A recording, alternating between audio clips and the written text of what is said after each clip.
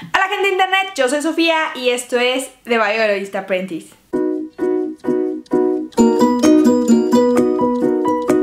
Y para el video del día de hoy es un tema que ustedes me sugirieron a través de las redes sociales y es para qué se hacen las salidas de campo o qué, cuál es el propósito que tienen. Entonces es lo que vamos a platicar el día de hoy es un, va a ser un video un tanto relajado, así que les voy a platicar un poco acerca de eso. Bueno, para contestar esa pregunta, las salidas de campo son o te sirven para desarrollar habilidades como por ejemplo la identificación de plantas y animales, hongos, reconocer especies invasoras, poder observar el impacto ambiental en algún paisaje, desarrollar habilidades físicas porque normalmente pues las áreas de campo se realizan en terrenos que no son pues regulares Así que este, trabajar también en condiciones que no son muy favorables, en tierra, cuando hay humedad o cuando hay lluvia. También se pueden eh, desarrollar habilidades de supervivencia como son los primeros auxilios, acampar, hacer una fogata, recolección de datos, aprendes a ser bastante sistemático y pues aprendes a vivir con atún y con el mínimo de comida durante algunos días, entre otras cosas. Dependiendo del propósito de tu salida, conoces el equipo que se lleva o el material que se necesita.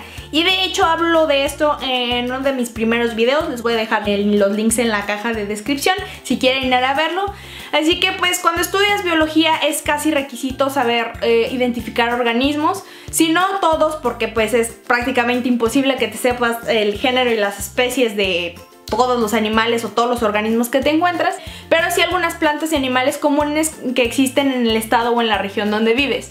Al tener estas habilidades pues técnicamente amplían tus posibilidades de conseguir empleo o en otras ocasiones puede ser muy útil para saber el tipo de ecosistema en el que te encuentras y así poder desarrollar algún, algún otro tipo de proyecto de investigación. Mientras que la mayoría de las personas tienen trabajos en una oficina sentados frente a una computadora y ocupadas con su vida diaria y como nosotros le llamamos con su vida de godín, pues mm, se vuelven menos conscientes de las aves y las plantas y los insectos que hay en sus jardines, vecindarios o inclusive alrededor de su trabajo. Y pues esa es una ventaja para nosotros los biólogos.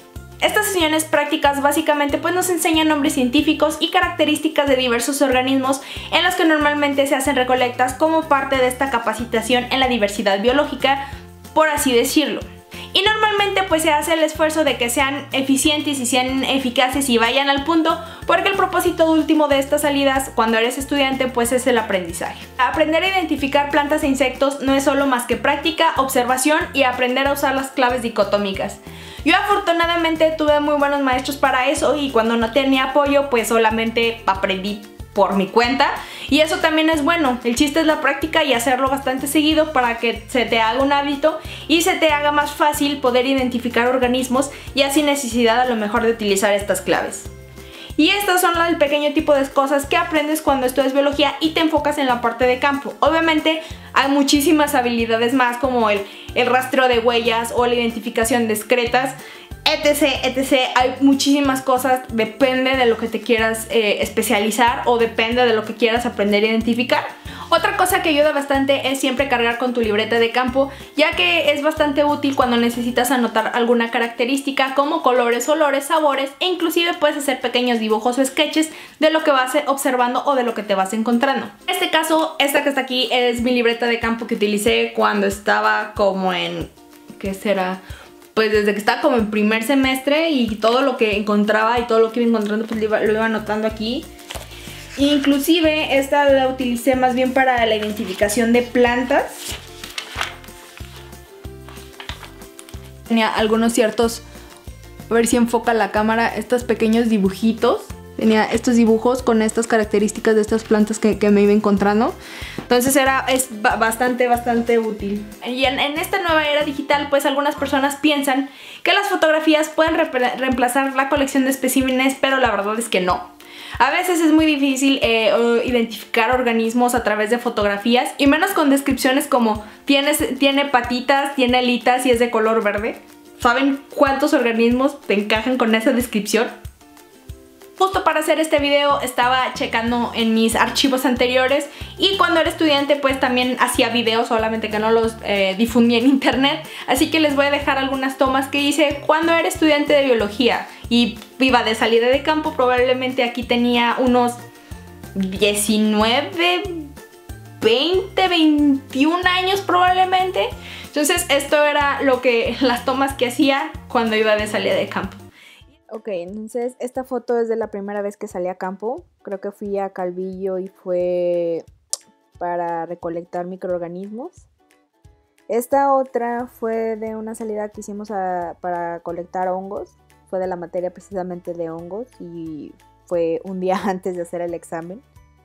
No había estudiado ni nada y tómala que nos dejaron salir a colectar y pues no encontramos absolutamente nada porque ni siquiera era temporada de hongos y ni siquiera había llovido.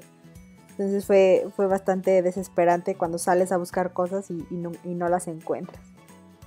Entonces normalmente hacíamos salidas, como yo vivo en Aguascalientes, normalmente eran salidas cerca de, de, la ciudad. Pero estas sí creo que unas eran en Jesús María y otra en Calvillo y otra en Malpaso. Y normalmente también íbamos a la estación de la universidad, la estación biológica de la universidad, de la, de la Autónoma de Aguascalientes, que tienen ahí su, propia reserva. Ahí estaba haciendo mi, recorrido para ver qué, qué insectillos encontraba, pero también fue una mala temporada porque fuimos ya muy pegado invierno y tampoco no encontramos absolutamente nada. Esta fue para taxonomía de plantas. Y esta sí fuimos en una temporada correcta porque encontré muchísimas cosas. Y él, el que está hablando, es una de las personas que más me ayudó en esta materia y fue la persona que me enseñó casi todo lo que sé en cuanto a identificación de, plantas. Fue, muy bueno. Y es una materia, a mí las plantas no, no me encantan, pero con él aprendí muchas cosas y aprendí a identificarlas. Una, una fogatilla en la noche, porque había veces que sí nos teníamos que quedar con el frillazo. Y ya, y de hecho esta fue la, última salida que hice como, como, estudiante. Fuimos a hacer un proyecto de, ecología, de impacto ambiental. Y esta es ahí, ahí mismo en la, en la zona. Fuimos a hacer muestras de agua y muestras de suelo. Y pues, y ella que ahorita va a salir en el, video es una de mis mejores amigas que espero que esté, que esté bien. Y ya, yo ya era de Bailes Apprentice en ese, en ese entonces. Una muy buena experiencia. Una, una de las, las, mejores salidas que tuve y muchísima, muchísimo aprendizaje. Me, me, encantó las salidas de campo, era de las cosas que más, que más disfrutaba hacer. Ya lo saben, para eso sirven las salidas de campo y honestamente a veces puede ser bastante divertido y emocionante porque te encuentras con una y mil cosas, pero sobre todo el aprendizaje que te dejan es muy valioso. Así que pues espero que les haya gustado este video, no se olviden de visitar TheVioletApprentice.com, seguirme en mis diferentes redes sociales y checar la tienda porque ya está nuevamente abierta para que vayan y compren sus playeras oficiales de The Violet Apprentice y yo los estaría viendo en el siguiente video.